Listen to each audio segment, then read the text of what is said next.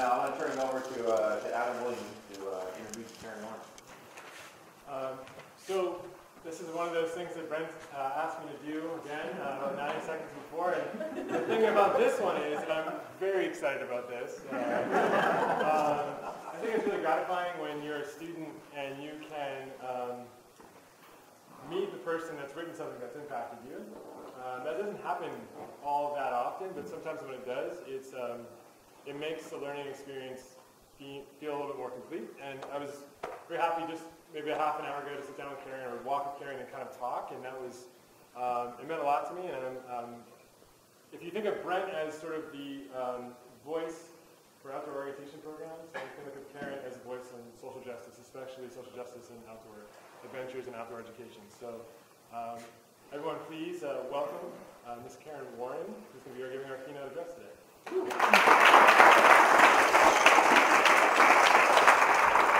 I haven't been called Miss in a while. you, you, must miss me already. Okay. Um, uh, I have a little thing that I'm going to be doing, which is standing up and sitting down. I led my students on a January term trip to um, this um, Camino de Santiago. And yeah, awesome, right? That's what we do at Hampshire, awesome things. Eh, but um, I hurt my foot on the first day, but whoops, it was a pilgrimage, so 100 miles later, uh, I decided to, to stop walking because I was done, and it wasn't good for my foot, so I've been healing since January. So I need to sit down sometimes. Uh, but I know that after I sat here in a while, that I'm not going to be able to really sit down because I'm not a kind of sit down kind of person. So I'm going to kind of bounce up and down. But so, but first thing I'm going to do is I'm going to put my Crocs on because these I can't wear these shoes if I stand up. So I'm going to put my Crocs on. But I'm going to swear you all to secrecy. Okay, you ready? My daughter gave me these Crocs when she was a teenager because I love Crocs. They're great, you know, camp shoes and stuff. She gave me these Crocs when I was a teenager, and there was a little note in them that said, Mom, if you ever wear these in public, I'm going to disown you, okay? So not only am I wearing them in public, and I try to keep that, not only am I wearing them in public, I'm wearing them in public when I do a keynote address, okay? Do not tell her. Okay, so I'm going to put those on. So the metaphor here is I want you to get comfortable because I'm going to get comfortable. So just kind of get comfortable. If you need to go to the bathroom or anything, please do that. Whatever you need to do. We like that. Um, they're not even, you thought they were going to be fluorescent, didn't you? they're not. They're blue. they match my outfit. Um, so get comfortable. But what I want to tell you is I don't want you to stay comfortable. Because when I finish here, if you're still comfortable, I haven't done my job. How many of you in your programs have heard of this idea of safe space? How many in your programs you actually use that idea of safe space? Huh? Yeah, oh, I do too. What I want to do, what I have done in my whole life with, in terms of social justice, uh, is unpack some of these ideas. And that's what we're going to do today is unpack a lot of stuff. Okay? So I want to um, say, safe space is great. That's what we try to do. Um, oftentimes in our programs, make this, make sure this works. No, I can't make anything go. We have to do it the old-fashioned way. Does that work? Okay. Oh, I'm gonna have to get near my my projector. Okay. So we use safe space. I'm still gonna believe I can use this. Nope. Ah. Oops, oops, oops, oops, sorry. So I'm going to introduce you to the idea of brave space. And it's a concept that's starting to get into the social justice stuff, just a little tiny bit. But it's the idea with social justice that, that safe space may not be realistic. It may not even be appropriate. Because what it is, is that uh, if we really embrace social justice in our programs and teaching about it and learning about it and, and grappling with it, that there's going to be conflict, that it's going to be messy, that it's going to be uncomfortable. Okay? And, and I would even suggest that the idea of safe space is a pretty privileged concept because people with power get to decide what is safe and what's safe from them. And so we often see that in our programs. Who, decide, who decided what was safe? So I, I urge you to embrace this idea of brave space, where you take courage, where you have courage to take risks, where you, where you, uh, uh, it still has some of the, compo- it still has a lot of the components of safe space, because you still want to respect people and all those things, but you want to be able to be co- courageous, and you want to be able to be able to sit with feelings that are uncomfortable and act on them. Okay? So we're there? All right. So I want to tell you a little bit about my history, just so, so you know that I'm not just sitting up here um, going oops a lot. Because I came to Hampshire in 1983, uh, and there was an ongoing outdoor orientation program. It started in 1974. How many, I know besides Dartmouth, how many programs here were older than that? Yes, you, yeah, yeah, yeah, okay. Okay. All right, I'll even say we were earlier then. No. Uh, uh, so in 1974, then when I came in 1983, we had a nice little 15 uh, groups in the wilderness kind of program. Well, it got, it progressed and progressed, and pretty soon, um, when I came actually there were seven, then pretty soon there was 15 because it was popular, and it was a pre-college, a pre-orientation thing. And then at one point, the president decided it was such a good idea that we would just do the whole school. And so then we became orientation. Well, we were really good at leading outdoor trips. We weren't so good at being orientation because what it meant is that we had 15 trips in the, in the wilderness and we had 15 trips on campus um, doing, oh, jeez. And uh, so there's, my, there's one of my orientation groups doing things like blacksmithing and dance and things that we weren't about 10 years ago, we lost our program.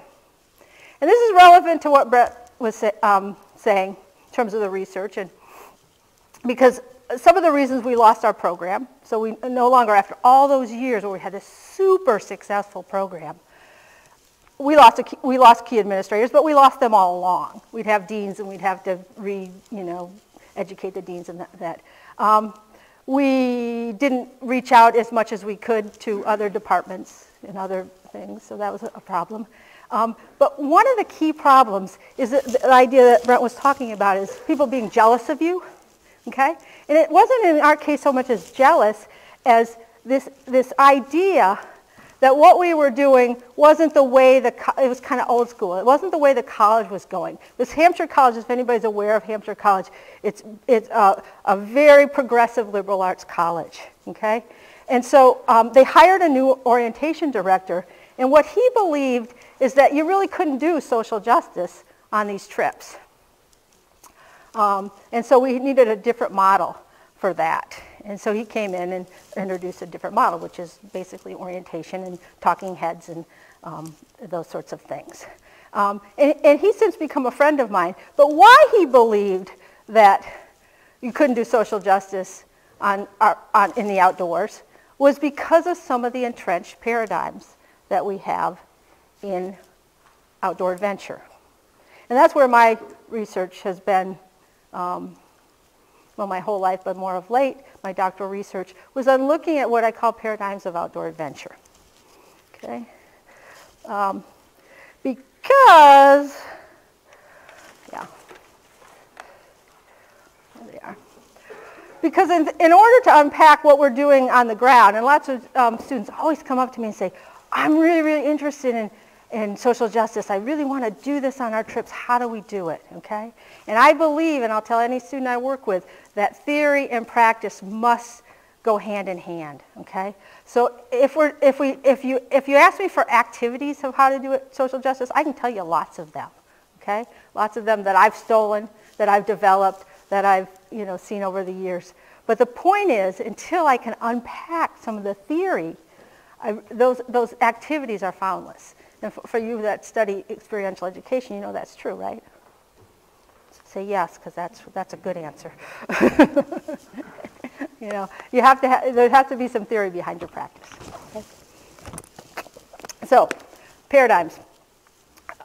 Uh, paradigms, what are paradigms? I'm still going to believe I can do this. This is like wishful thinking. Is this the dream machine? still believe that's going to work. okay, paradigms and paradigm shifts. So um, let's see. a paradigm is, oh, I don't have it today. Yeah. Paradigms. Okay, no. All right, Scott. Scott. Scott's the only one in this room that's ha- uh, Scott's the only one in this room is happy we lost our orientation program because every fall he comes over to Hampshire and goes, "Can I borrow about ten thousand dollars worth of equipment that we have?" And, and so uh, we we do. They are grateful because we don't use it anymore, right? It might be that these things have a, a, a shelf life. Oh, here, we'll use yours. Oh, yours is the same one. Keyboard setup, though. Get rid Or of- maybe not. Well, maybe not. Let's see. There you go. Is this industry standard? Yes. Okay, so what is a paradigm shift? Yay! It even fits, my- it's the same one, it fits my hand. It's so comfortable. Uh, So the chicken, chicken is, the chicken's world, her world is the inside of an egg for so, so long. But if enough cracks get into an idea, boom, the idea ex, ex, is exploded, and that's what that's a paradigm shift. Besides those two dimes, okay, everybody got that? Um, so what are these paradigms of outdoor adventure? The first one I'll talk about is the paradigm of diversity. Felice Yeskel calls this paradigm or this this idea of diversity as the Crayola crayon box. And that is the idea that there's all these colors in this crayon box, right? Um, there's burnt sienna and there's, you know, magenta and all that. There's uh, creamsicle, those, those colors. But the point of, of diversity is that creamsicle is not, doesn't have any more power than magenta. And, and burnt sienna doesn't have any more power in the crayon box as um, lime, okay? But in our society, that's not true. But with diversity, oftentimes we look at it that way. And so what in our programs, in our outdoor programs, what we often do is what I call, is what, what Chavez, Chavez calls the I triad, which is we invite people of difference into our programs. Anybody have programs that you, it's like, can we get more, more X into our programs? Anybody have that? Okay, yeah, we want to get more, more, more people of color. We want to get more um, women into our program. We want to get more queer people into our program. Whatever. We want to get more X people into our program. So that's the invite thing. Um, we also want to include them. In other words, uh, make them have power within that, and then also involve them. And so have them, uh, people of difference at higher levels of, of, of problem solving, decision making, and those sorts of things. What I would suggest to you, based on what I, my research, is that we're in the invite model in outdoor programming. We've spent a lot of time inviting people into our programs without changing our programs. So what happens is we invite them in, they look around, they go, oops, no one like me, oops, this isn't, isn't part of my culture, oops, this isn't, oh, I'm using oops, uh, oops, this isn't, this isn't, this isn't what I do, this isn't me. And then, and, then, and then they leave, okay? And so then we have to go back and invite some more, all right? And what we haven't learned to do really well in outdoor adventure is involve and include. We haven't learned how to co-create programming with marginalized communities. Okay? And I'll talk about that later. How do we co-create? Um, okay. The next paradigm I'm going to talk about is the, is the paradigm of wilderness adventure. Pretty pictures? Which one do you like more? If you had a favorite, would you like this, this, ah, that works too. Would you like this nice picture that I took in Chesler Park and Canyonlands? Or would you like this nice park bench that I took along the Swanee River in Georgia? How many's go, how many going that way? Canyonlands. Okay? And how many going this way? Okay. Hmm. Wow. They're both pretty. It was, they were both beautiful. Okay? Um, but what we, what, what we have, what we often have done in outdoor adventure is, and this is the whole hi- history of recreation, the history of leisure, and the history of wilderness. And that is predicated on the idea of what we value is the sublime, which is the beauty, the great cathedrals of, of Yellowstone, I mean of um, that other place, Yosemite. Uh, ah, you've seen one, you've seen them all. Um,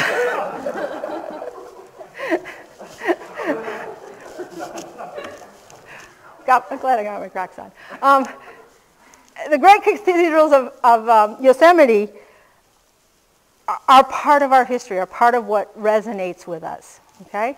Versus the utilitarian, which is the actual use of wilderness, okay? And if we think about it, so this whole sublime wilderness thing, and it actually came from a European construct, which, you know, when John Muir came, he said, oh, these are the cathedrals of Yosemite, okay? And that European construct um, was because we have cathedrals that are as good as Europe. So it's like, you know, we're as good as Europe. So, so what we have in the United States is wilderness, okay? But remember, if you've taken the class, what does the Wilderness Act say? Nobody's taking the class. Okay, yeah? What? Yeah, untrampled by man. But we'll let that one go now. Um, untrampled, remote, okay? So the idea of wilderness is about remoteness. But what we know is that uh, people from marginalized communities, the idea of remoteness may be pretty scary because that's where things that, um, that are uh, violent, things that are, um, are scary, fearful, happen, okay? And the, versus the utilitarian, where oftentimes com- uh, particular communities of color, indigenous communities, actually use the land in a way that is really not sublime. Okay? It's about use. Um, and so, but oftentimes in our venture programs, we are caught in the sublime concept. All right? I wasn't going to go here, but think about leave no trace. Yeah? You thinking about it? Good. I'm all about I'm a trainer, okay? I'm not, you know, and all of these things, whatever I say, I'm trying to make you feel uncomfortable. I'm trying to make you think. I'm trying to make you be critical thinkers and unpack this stuff, okay? I'm not saying get rid of leave no trace. Like I said, I'm a trainer, okay? But you think about it, what does that mean? We're, we, we are so good and leave no trace, we will not even touch or leave any part of human existence in the outdoors. Okay? That's a sublime version of it. It's really pretty a privileged concept, um, or based on a privileged concept.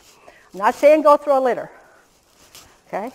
But I want you to think about some of these things. Okay, so anyway, um, most people see me as an academic, a person who's, I'm a practitioner because I'm always out with students in the outdoors. I was just out yesterday canoeing with them.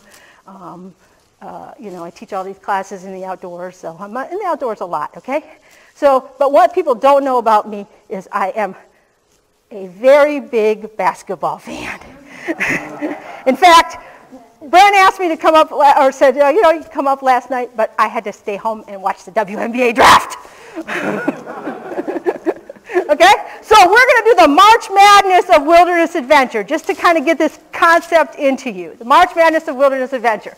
Okay, so up here I have this park, and these are just places I've been. So here's this beautiful little park with a little nice little pond in it, and versus, uh, and so these are going to be brackets. The bracket slipped off the slide for some reason, but there's going to be brackets. And so then we have the Grand Canyon of Yellowstone, right? Okay? So if I have to choose between those two things, I'll tell you what I choose. I don't know if you're going to be different, but I, I'm going to choose Yellowstone. Okay? So then I have my bottom brackets here. Okay? So I'm just doing my, we're at the final four. Um, so we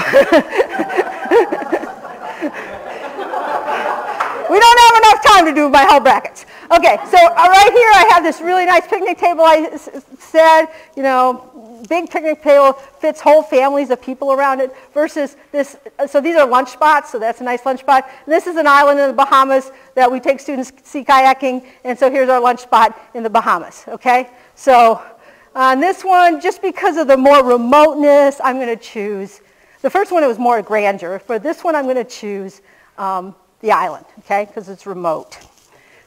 A good choice? Okay. So then I have down to the final game here, and it's Yellowstone and the island, okay? So the island is remote, but there's not monumental beauty to it, you know? So I'm going to choose Yellowstone. Okay? and I won. And I got drafted. Uh, but what do we know about, so what's the problem with having these uh, very embedded kind, ways of thinking about the outdoors or about uh, wilderness or about, you know, um, adventure? One of those is there's access problems. Historically, um, access has been dependent on resources um, to get there, money to buy the specialized gear, um, and access to real uh, leisure time, which is a class issue, right? So Jory was telling me this morning about this program is really long and it's kind of expensive, but you know the real issue is not necessarily the expense because you can deal with that, but it's that people have to leave their summer jobs for a while um, to do that. So, so there's some, so there's access issues. Uh, so you know I find it interesting when I when I see, see programs and they say we're open to everybody.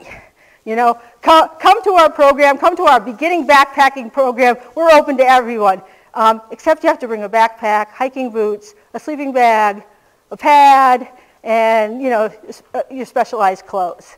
Um, and so, you know, thinking about it and unpacking some of those things, uh, you know, if that's the case, don't say they're open to everyone because they're really not. Okay? Unless you can help them be open to everyone. All right, the paradigm of individualism.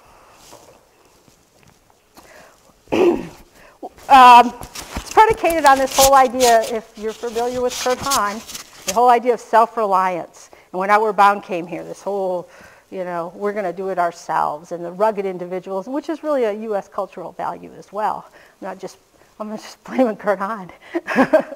uh, so, but what, so, you know, where do we get those messages? We get those messages, you know. So here's here's the into the wild guy, you know. Uh, Here's um, the guy that has to cut off his arm in order to save himself, right? A hero. He was a hero. You know, he did that. He was a hero. Okay? And, you know, the solitary conquest of conquest or conquering of, of, Yellowstone, of Yellowstone, back to Yellowstone, of Everest. Okay? So we have these, these very bold images of individualism in, in outdoor adventure. And they do, like messages of anything, race, class, and gender, these images of, of, of uh, um, outdoor adventure follow us. That's who, who they followed our orientation di director. It wasn't his fault he thought we couldn't do social justice. It was these images that helped him to maintain some of those ideas. But what we know about individualism is that people of color and people of marginalized communities often recreate together. Uh, I was talking to Adam about this. Uh, we were, you know, the Park Service is starting to realize that how they have set up their parks is not really advantageous to people of color, for example. You know, the, the, if the research says that Hispanic people um, want to recreate with their families, they need to build bigger picnic tables and picnic tables in groups rather than these solitary picnic tables here. Okay? And how we, you know, how we do some of those things. Now, picnic tables may not be your responsibility, but I just want you to think about some of these things. Okay? And then, uh, you know, um, Oppressed communities rely on each other for cooperation and survival. This is an outdoor access event that I do with my students. So there's this whole thing of community being a concept often of oppressed groups because you have to be in community in order to survive versus this whole um, paradigm of individualism. Okay? So, since reflection is always good in these things, I want to invite you, if you're comfortable, to close your eyes for a minute. And while you're closing your eyes, I want you to think of some aspect of your program that uh, fits into one of these paradigms I've talked about.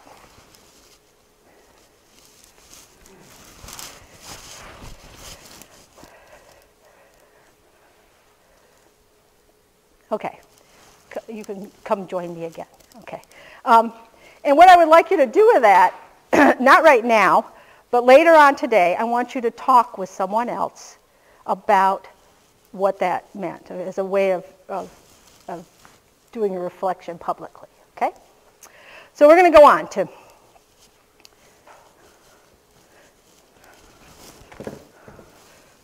to the right clicker.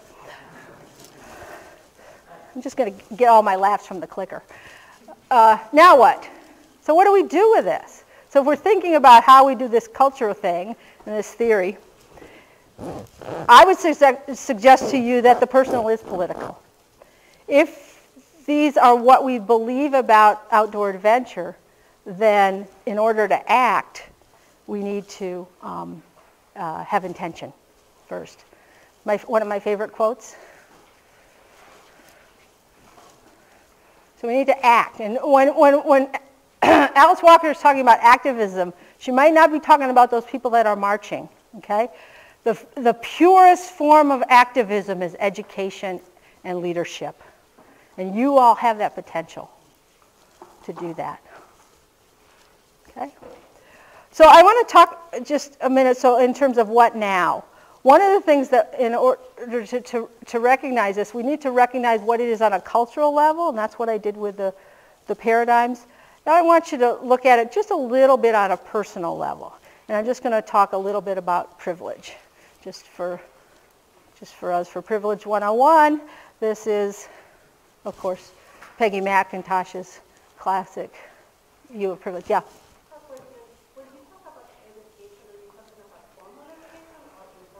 I'm taking, talking about all kinds of education, yeah. Yeah, you know, parenting is education. Uh, you know, political speeches are education. I Guess that's relevant right now, eh? Um, okay, so it's an invisible. So I wanted to show you um, my um, backpack of privilege, but I have to, where did I put it? Did anybody see it? It's black. It's not that blue one, it's a black one. Did you, did you see it? I'm wearing it? Yeah, I don't see it. it's on your back. I really don't see it on my back, so it must be somewhere else. Come on, do you see it? Do you see it? Do you see it? Do you see it? How come I can't see it? I'm wearing it. I'm wearing my vest. Somebody come up here and help me out, because I really don't see it. Yeah? Oh, strip. Oh, here it is. Yay! All right. Well, let me unpack it while I'm here since we've, we're looking at it.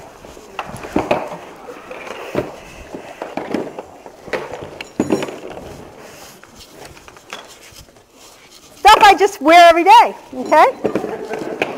So this, um, this is my, actually my backpack, I brought my backpack of white privilege today, okay? So this is my backpack of white privilege. And so, um, so I'm thinking about going on a nice outdoor course. Uh, anyone, this could be Outdoor Course 101. Didn't really say NOLS, okay?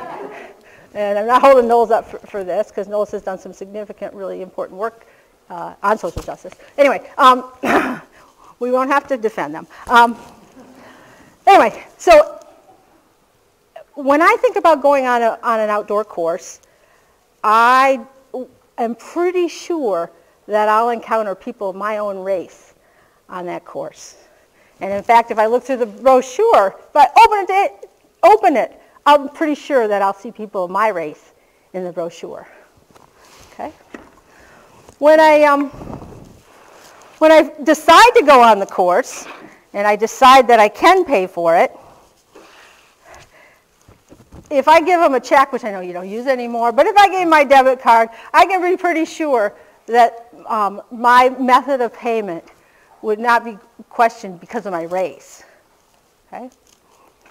I can pick up one of my favorite, now obsolete, magazines and pr- be pretty sure if I go through here, I'll see people of my race. Pretty sure. If I go out on the trail in the White Mountains, I know when I'm setting out that if I come across people, I'm pretty sure that some, that somebody will be of my race. I have that assurance. I just, you know, just happened.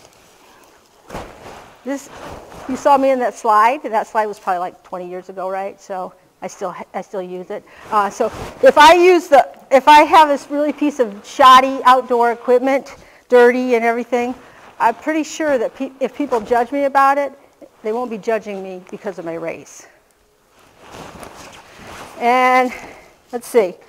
I'm pretty sure that if I go my first aid kit and I get out a Band-Aid, it'll match my skin color because it's flesh colored. Okay? And uh, the flutes, the flutes for later, remind me if I forget, to, I'm going to play you a social justice tune. Okay? And I'm pretty sure, what else do I have here? There are only a few more things. I'm pretty sure that um, if I go on one of those courses, that I will be served food that comes from my, my culture. Um, and, you know, it'll be good. And I'm pretty sure that if I pick up my outdoor leadership textbook, and bring the whole thing, they're heavy, um, that uh, I will see people of my race represented and told that people of my race were what made the history and the foundation outdoor adventure. So those are some of the privileges that I have. Okay? And I could do the same thing on gender. I could do it on sexual orientation, gender identity, anything, you know. There's a certain unasked for but often invisible privilege that we carry around. So, so on a personal level, on the what now, is how, to, how do you unpack that and how do you work with that in your group? Okay, and I'm going to give you, no, stay there. Um, so here's, here's an orientation. So how do you understand your group in order to do that? Here's an orientation group. This was taken when we had orientation trips a few years ago. And they're just ready to go out on a backpacking trip. It's first day, so they still are clean. Um, and uh, when you look at this photo of this outdoor orientation group, we're conditioned to look at some commonalities there. Uh, kind of, you know, your typical group. They're a little apprehensive.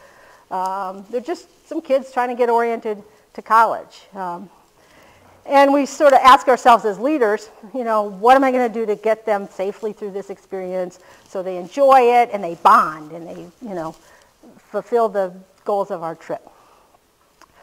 but what I'm going to suggest to you is that you change your perspective. And so let's do this little perspective exercise. Maybe there's like four of you in this room that have never done it before, but we're still going to do it anyway, and I might be wrong. Okay, so the perspective exercise is you take a finger, so y'all have to have a finger up, okay? And I, I, I put my finger down here around my waist, and what I'm going to do is I'm going to move my finger clockwise, okay? Moving my finger clockwise. Now look at that finger clockwise. Okay? Now what I want you to do is keep moving the finger clockwise, and I want you to put it above your head. Now which way is it moving?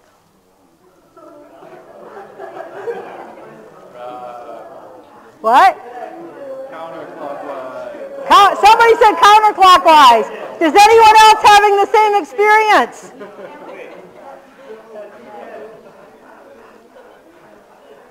So uh, you can stop now. Uh, once you figure out where it goes, you can, you can make it go down again. It'll switch again. Okay? Why did it switch? What? Your perspective. You're looking at it a different way. What I'm going to urge you to do is look at this group in a different way. All right? You can use that one. How many people didn't know that? More than four. Okay, good. Shoo. Okay. Look at this group in a different way. and I'll get to the I'll get to the point of this in just a second. So when I look at this group now in my different in my different perspective up here, I'm going to realize that someone is genderqueer or transgender in this group. I'm going to believe that someone has an eating disorder. I'm going to believe that someone has Asperger's syndrome or other autism uh, other places on the autism spectrum. I'm going to believe that someone is Jewish. I'm going to believe that someone is gay, lesbian, or bisexual. I'm going to believe that someone was raised in a poor family. I'm going to believe that someone's racial identity is important. Okay? I'm going to believe a lot that a lot of the oppressions that we experience in society are in that group. Now, I'm not going to try to pick out who's who yet, um, or, or, at all. I didn't mean yet. Um, okay? And what we call this is radical inclusion. and uh, apologies to Burning Man because they actually started this whole thing. But, um, but radical inclusion, it's the idea that everyone's on the trip, that all identities already are on your trip. Because what we often do on outdoor trips and outdoor adventure is we wait until we find out if those identities, and then we change our behavior to respond to those identities. Right? Okay? What I'm going to suggest is change your perspective and come in and say those identities are here. I'm not sure all of them are, but believe that they all are here. And change your trip so each of those identities is accommodated, is respected, and is celebrated. Okay? That's radical inclusion, that everyone is always on the trip. Okay? All right. Um, I've unpacked, I've done that. Okay. So a couple last things to think about is in, in terms of critical thinking is, to, uh, is how do you unpack your program. What I would encourage all of you is to go from here, get with your peeps, and talk about what it is that are these hidden things, because they're, they're often hidden, okay? It won't be a comfortable conversation. There'll be lots of denial, okay? Because that's what we that's what we've learned. We're not bad people because we've learned that. But so it's not our fault. I always tell my students it's not our fault, but it is our responsibility. And as Alice Walker says, it's our responsibility because we live here. We live with people. And you're in a position where you're working with people um, who are depending on you to have a perspective that their identity is important, whatever it is. Okay? so, some things that you might think about doing. And this was the paradigm of individualism and how to co- uh, co-create trips. You might consider having identity-based trips. Okay, not just not just people of color. Eh, you know, queer trips. Um, uh, you know, the the whole range of uh, accessible trips. Uh, you can't use, usually don't do age. Um, I do that on all my trips. representative. So identity-based trips, okay? And people go, oh no, we can't do identity because that is exclusive. Uh, okay, that's what, that's what you'll get, okay? Expect whenever you do anything like this that you're going to get feedback, and that feedback is often, is often termed backlash in my mind, okay? So you're going to get backlash. So it's, it's about creating the experience um, and expecting the backlash and figuring out ahead of time how to deal with it, okay? And this gets to what Brent was talking about. When you're creating identity based trips, you need to work with those components on your campus, those, those offices on your campus that are involved in identity culture, okay? So I go to the Queer Center and we co-create a queer trip, okay? And I go to a cultural center and we co-create a, a trip for women of color or, you know, I've had different ones, women of color, um, people of color, um, um, I did one with the Latino sisters, you know, the, um, so different ones. You know, I have to work cross, you know, campus in order to do that. It, it would be very privileged for me as a white person to go, hey, I'm going to lead a people of color trip. Y'all come, right? It's that paradigm again. Y'all come. We're going to do this. Even though I'm super sensitive, right? Um, we're going to do this, and um, we're going to kind of do my trip, okay? So it's co-creation. Enough said.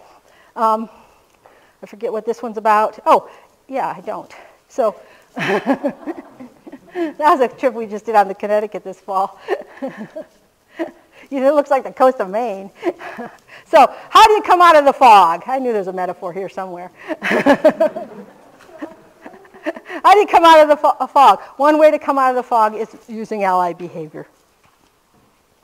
And ally behavior is uh, being advocates for people that experience marginalization, that experience oppression.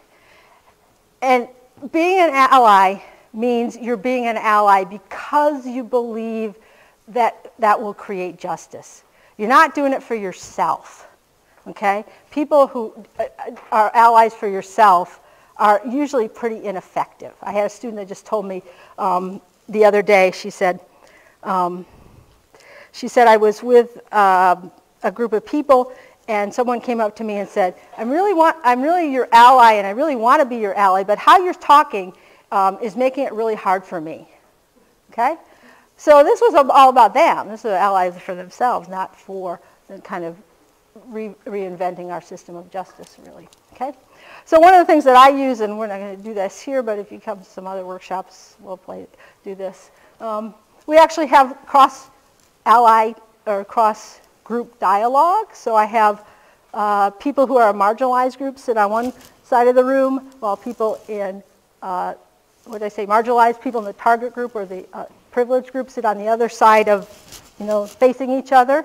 And they, we ask each other, I need you to be an ally to me by, and I say something that's important to me. And then the other person answers, I can be an ally to you by, okay?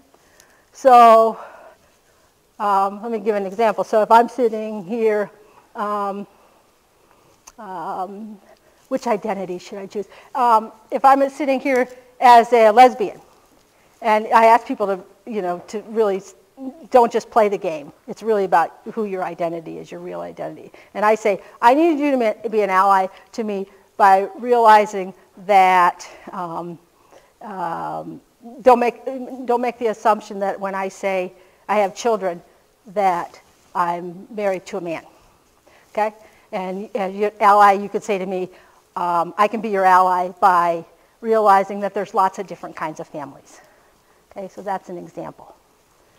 Okay, so some other, and I think I'm running out of what oh, training and practice. This is where you get to hear me play. Okay. All right, so I'm going to play you a uh, social justice song. Here we go. Ready?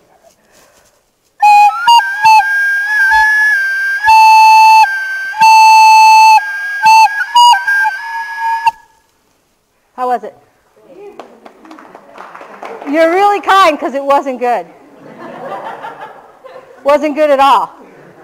Okay? Because I have no training on this flute. And I have not practiced one iota on this flute. Social justice is a lot of times people, well-intentioned people like, I'm really a great person, I really believe in all this stuff. But unless you practice and unless you do training on it, you're not going to get better at it because it's so subtle, it's so slippery, okay? So if you're just like, I'm a good person, I'm a well-intentioned person, you're me with this flute, okay? You can do, be- you can do better.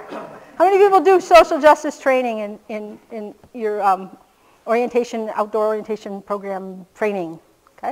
And I'm not trying to like say, oh, you're great and we're not and all that sort of things. Because a lot of times what you get from people is, we don't have time to do it. Okay? And what's the message that you give when you say we don't have time to do it is, oops, it's not important. Okay? So, um, and a lot of times we don't do it because we don't know how to do it. And a lot of times we do it because we're not to the brave space. We don't do it because we're not in brave space. We're like, that's going to be too uncomfortable. So it's easy, you know.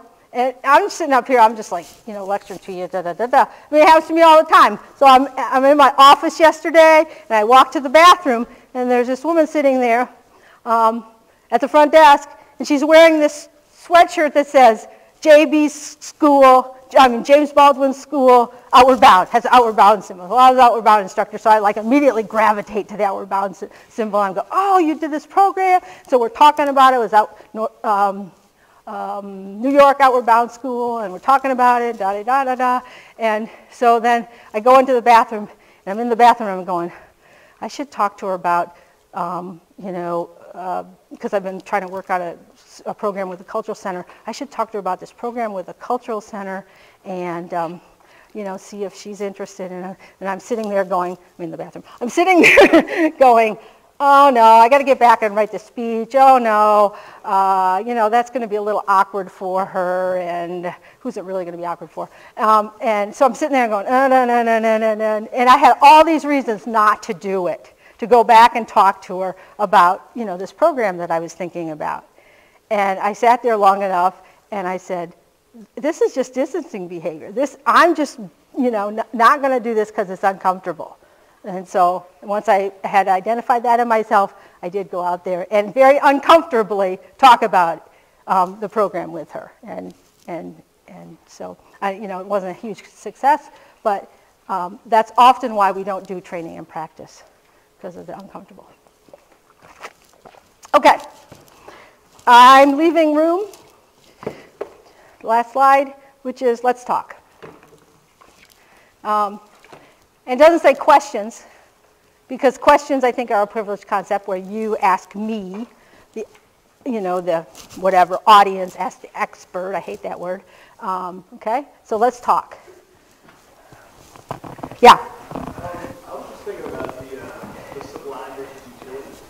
Uh huh. And, um, I guess in my mind, I'm a little skeptical that sublime is kind of uh, a white privilege thing. Because I feel like every culture has, has a sense of the sublime. And especially, you know, especially in here in in the West, um, a lot of the preserved wild places are places of, the- of the sublime for both cultures. Um, and a lot of the times, you know, reservations and preservations by the white man do kind of reduce access for utility, but a lot of the times it's a shared sense of spirituality and bliss. So I guess that's just what I was thinking about. Uh-huh. You know, I wonder, you know, uh, do we have an indigenous nations park system where things that are valuable to indigenous people are? In a way, there's, there's a, like, have you heard of the Badger-Two Medicine? I'm sorry? Have you heard of the Badger Tree Medicine? Badger?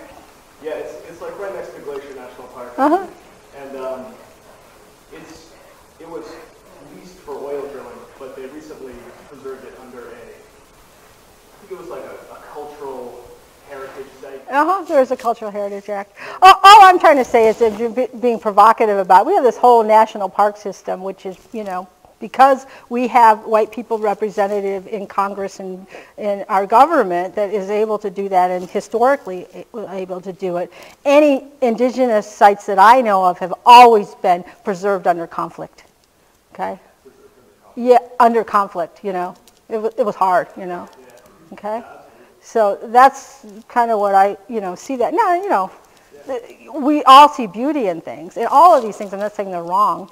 Um, I'm saying, how do we look at them from a different lens, okay? Uh, the national park subject, I think this is like an identifier of my own unconscious privilege. Um, when I learned that the national parks were segregated at all, and that they weren't fully desegregated until after the uh, Civil Rights Voting Act was passed in 1964, Uh-huh. which is, I being a very like hard to put back to those in. Uh-huh.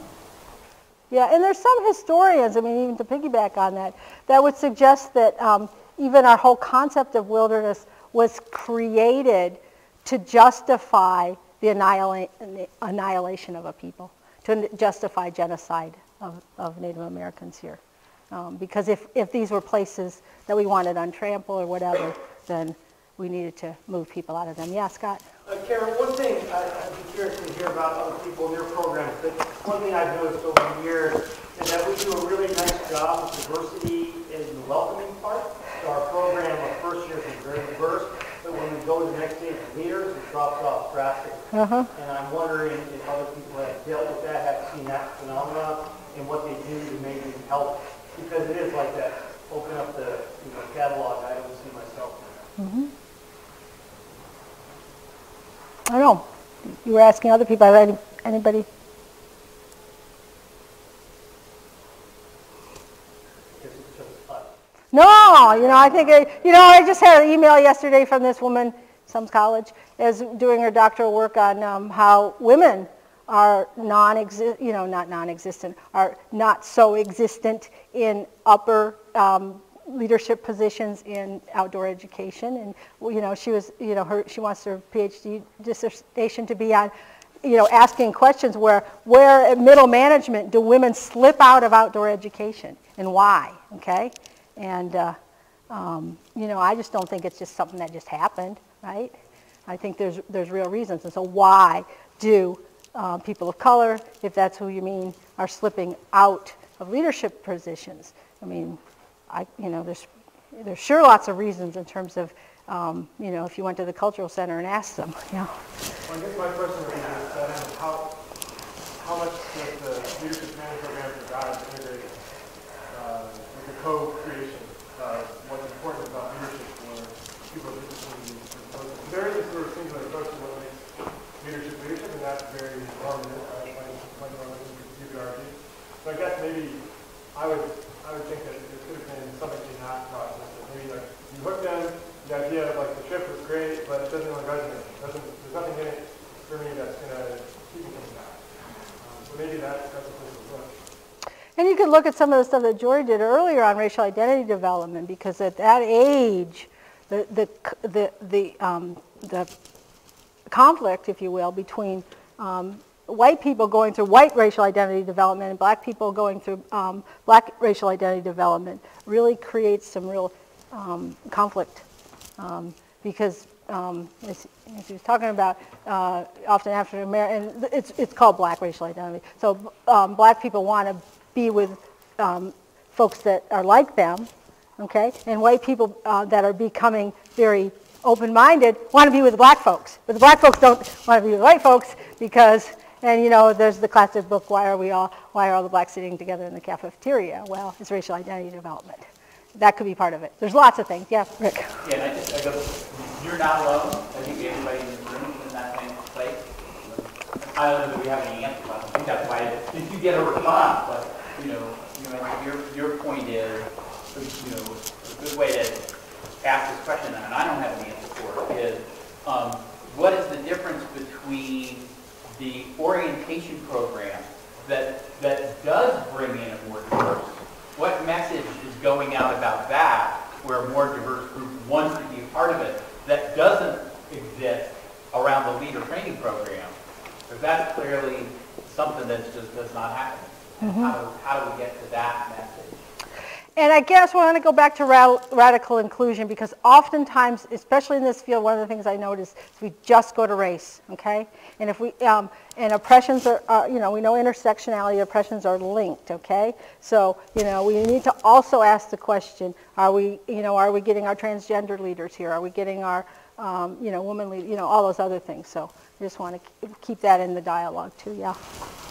Uh, yeah, some of the, we the same thing in college a lot with our, you know, we moved very recently and really we thought that our leadership board didn't necessarily represent people who were coming on our trips even when were optional.